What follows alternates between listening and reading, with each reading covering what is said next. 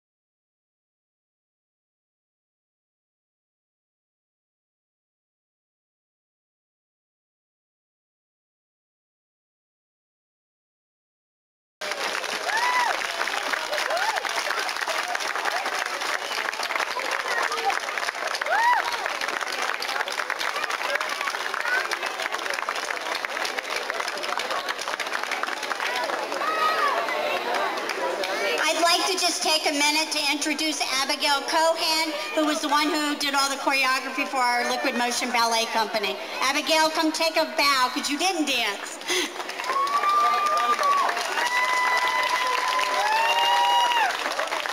Again, thank you all for coming out. This is Lisa School of Dance. Please feel free to come by anytime. I hope you join us for casino night. Thank you all. Have a great day. Bye.